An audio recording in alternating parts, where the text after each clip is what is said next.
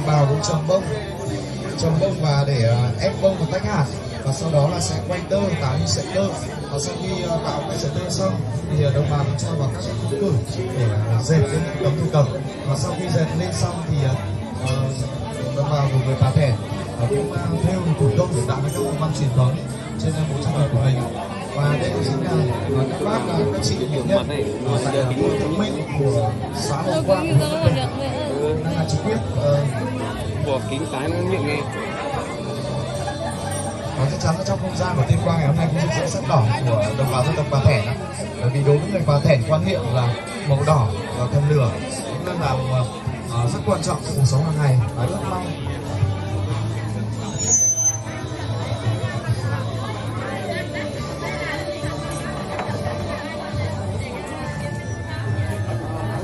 Toàn, toàn đây.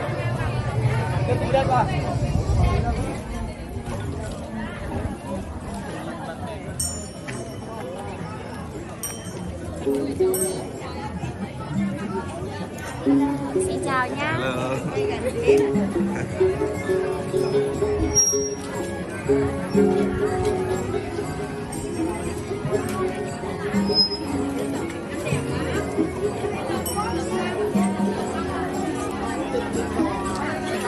Ờ,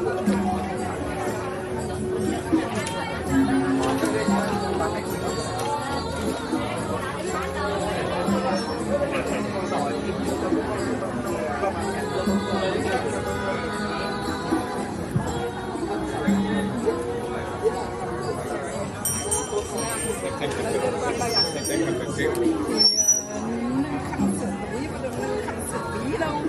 Cho nên chính sách. Nghĩa là tính chất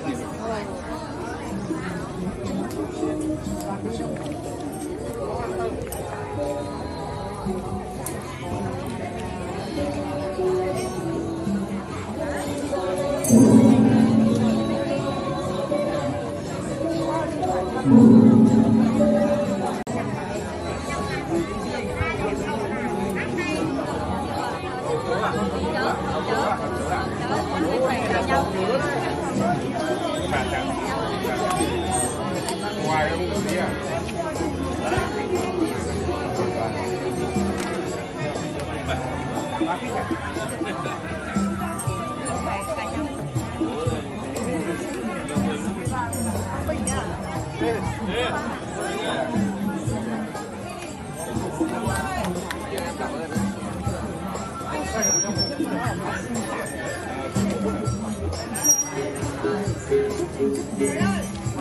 cũng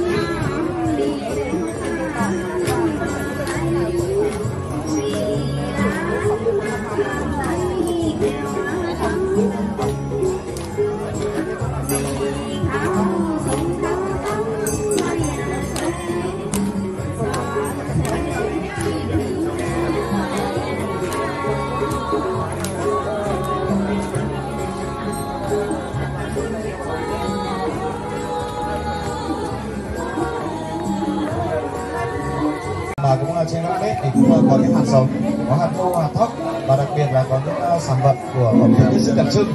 Đó chính là lạp sườn và cùng với lại ờ, thịt lợn xấy ờ, sấy khô và có thịt chua và thịt chua khô và tất cả lợn là cũng là lợn uh, rất là tự nhiên và hoang dã sạch 100% ạ.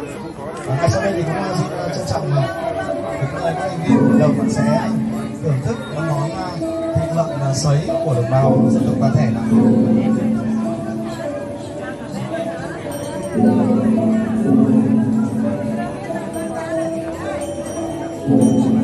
Nào mua xin chào đấy. Cái là mấy chào mà. Học chớ đi. Rót rượu sẵn hết rồi